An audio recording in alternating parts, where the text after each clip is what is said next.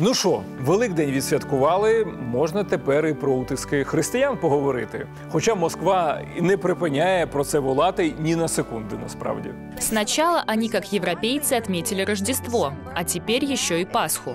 Ну и что, что православная Пасха на самом деле будет только в грядущее воскресенье? Какая разница? По словам Владимира Зеленского, украинцы научатся отмечать ее в тот же день, что и весь остальной свободный мир. И вот как выглядит свобода вероисповедания по-киевски. Монахов выселяют из того места, которое они на протяжении десятилетий называли своим домом. Действия властей поддерживают люди с нацистскими татуировками и символикой ультраправых. Що цими так званими утисками намагається зробити Росія? Вона проводить операцію з дискредитації України на заході і насамперед в США, просуваючи тезу про переслідування християн в Україні. Зеленський це сучасний Нерон, а Порошенко взагалі Калігула. І це не просто так, друзі. В США і багатьох західних країнах дуже сильне християнське лобі. Тому завдання кремлівської пропаганди це зрив військової допомоги шляхом звинувачення України у знищенні християн. Як це якось по середньовічному? Погодьтесь. Тайная полиция Зеленского провела обыски в монастырях по всей Украине, даже в женской обители. И арестовала десятки священников совершенно бездоказательно и в явном нарушении украинской конституции, которая теперь ничего не значит. І ці наративи залюбки, ну точніше, за рублі, розганяють корисливі дурні на заході. Киевские власти пытаются очистить свои храмы от всех, кого считают пророссийски настроенными. Запрещают русский язык в своих церквях и даже угрожают тюремным сроком главе Украинской православной церкви. І, звісно, попереду всіх головна демонічна інстанція РПЦ. Русская православная церковь сегодня продолжает активно помогать тем, кто, рискуя жизнью, находится на передовых рубежах защиты Отечества и традиционных христианских ценностей, кто потерял родных и близких, лишился крова или получил ранение. Наши епархии, монастыри, приходы, православные волонтеры продолжают вносить свой вклад в это общенародное дело. Це ті самі гуманісти, християни, які закликають вбивати сусідів і помирати за це вбивство самим. Потому что воинская смерть лучше всех смертей. Это лучшая смерть из смертей. Люди умирают, как свиньи, захлебываются блевотиной, скажу я вам. Еле-еле пили-пили, перепили, с- под столы попадали, как бы, знаешь, обрыгались, как бы и, за- за- и блевотиной захлебнулись. Вот тебе и смерть. А потом малолетки-зацеперы там поехали там зацепиться за, за электричку, там покататься. Его током шваркнуло 3000 вольт, как бы, и он обугленный на, на рельсы упал. А ему лет было 17. Пошли фотку сделать, селфи какую-нибудь на крышу дома. Подскользнулись и полетели с 15 этажа вместе с телефоном. Сделали селфи. Таких дурацких смертей – во! Так лучше с оружием в руках умереть за Родину. Как герой, как мужчина. Еще еще помолиться перед сказать, Господи помилуй, и, и пошел в рай, пошла душа в рай. Росіяни завжди педалювали релігійні конфлікти в Україні, починаючи з дня отримання нами незалежності. Ще в далекому 95-му році в центрі Києва були спровоковані сутички між представниками святого РПЦ та відновленою українською церквою.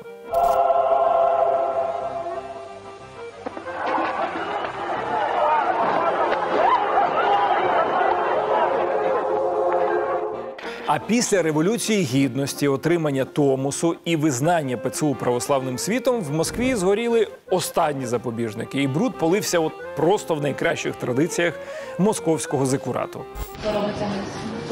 Подивіться, я знаю. Росія робиться. Я цього не сказали. Ні, ви, ви сказали, ви, сказали, за федерацію. Російська Федерація. Причому я що свою сестру назву агресором? Так я ж про державу Ну, я вам я вам ще раз поясню, що є, е, якщо ви не розумієте в- в журналісти, що за це питання?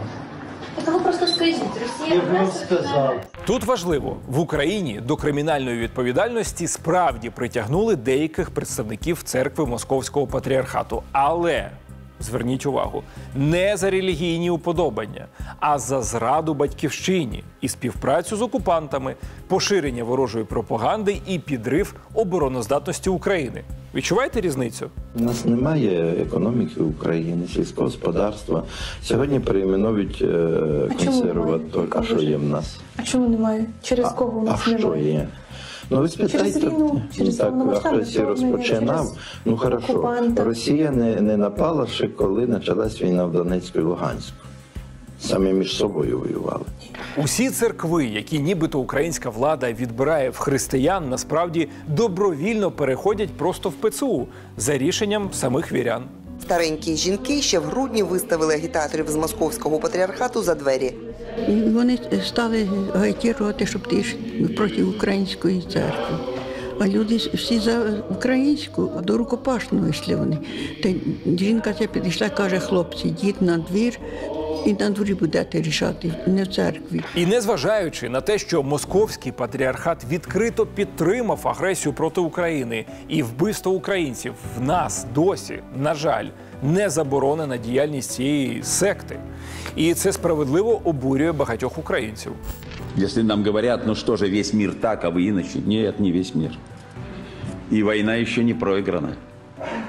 И очень важно, чтобы наша страна, опирающаяся на многовековую духовную, культурную традицию, сформировавшая свой кодекс нравственных ценностей, была способной в том числе, в каком-то смысле, и возглавить это сопротивление, невероятное слово сейчас скажу, антихристу сопротивление пришествию в мир глобального зла. Але друзі, насправді саме Росія найбільший утискувач християнської церкви з часів Римської імперії. Саме московити заборонили на захоплених територіях усі українські християнські церкви. Служителів і вірян відкрито репресують.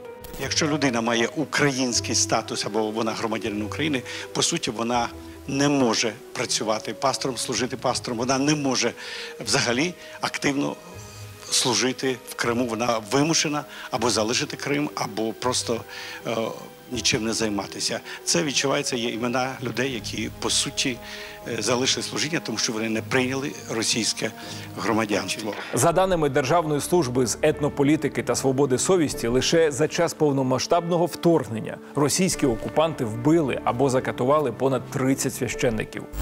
На Луганщині рашисти вбили священника. Про це повідомив керівник області Сергій Гайдай. За його словами, напередодні окупанти накривали вогнем села поблизу Рубіжного. В Михайлівці від осколкового поранення загинув настоятель храму святителя Феодосія Чернігівського. Одним із перших злочинів окупантів у 2014-му стало вбивство чотирьох євангелістів-п'ятидесятників в окупованому Слов'янську. Росіяни також катували пастора Олександра Хомченка в Донецьку. На початку серпня 2014 року священника затримали в центрі Донецька біля молотовного намету, кинули до в'язниці та піддали тортурам. Намет навесні 2014-го в Донецьку встановили священники різних конфесій, щоб разом молитися за Україну. Жодної політики в цій акції не було, жодного відношення до українських військових ці люди не мали.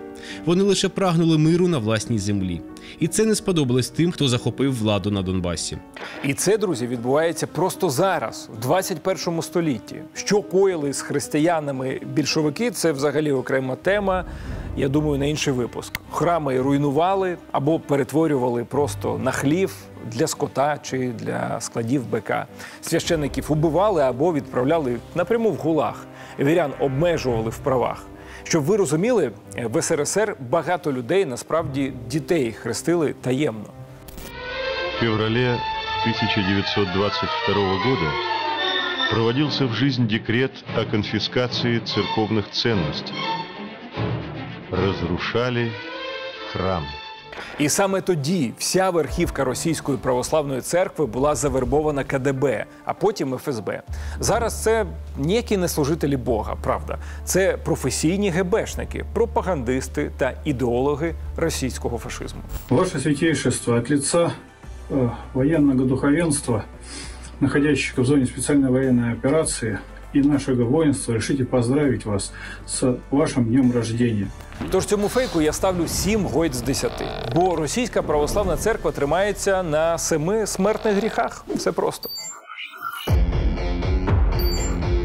Так, я ж не думаю, що для вас є секретом, що в лавах Збройних сил України воює наразі багато іноземців з різних куточків світу. Так? Створені окремі національні підрозділи: грузинські, чеченські, білоруські, навіть російські є. Серед, серед білорусів сьогодні є поранені? Нет, Беларусь всецело. Оце захоплена теж техніка, правильно? Это захопленная техника, это подорванная техника. Смотрим. Но ключевое, есть много трофеев. Ага. И это не только раз и два. Еще стоит вон там танк. І Кремль, звісно, спробував дискредитувати міжнародну підтримку України і звинуватив Київ у використанні найманців, що заборонено насправді міжнародними конвенціями. Свои диппредставительства в целом ряде европейских стран Украина превратила в пункты сбора для солдат удачи. Достаточно поставить подпись на контракте, и с этого момента ты объект денацификации. Наратив про іноземних найманців Росія використовує з 2014 року. Саме тоді почалися вкиди про так званих нерів і поляків на БТР. Едет БТР по, по улице, на нем танцуют пьяные н***, на тебя автоматы наставляют. А, лаки в руки. Хайвали. Мы их сюда не звали. Ось у поляків російські окупанти, до речі, реально вірили. Чому? Тому що чули в радіоперехопленнях українських військових, які спілкувалися українською, і вони думали, що це польська, адже росіяни це, я нагадаю, єдині слов'яни, які не розуміють чомусь всіх інших слов'ян. Що напевно говорить про те, що росіяни не слов'яни. Говори, поляниця. Не поляніта, поляниця. На іспанському я тебе спрашиваю, говориш? Поляниця. Поляниця. Поляниця. По слогам можно? Поляниця. А, да. И. Поляміте, Ти що, баран? Тому й доходимо просто до маразму, що росіяни бачили в ЗСУ тільки поляків. Українців взагалі не було. Но здесь, безусловно, спокойнее, чем на других участках. При этом украинские силы, вернее, не столько украинские, сколько наемники, иностранцы, в основном поляки, находятся на склоне холма напротив нас. Але друзі, давайте повернемось до так званих найманців.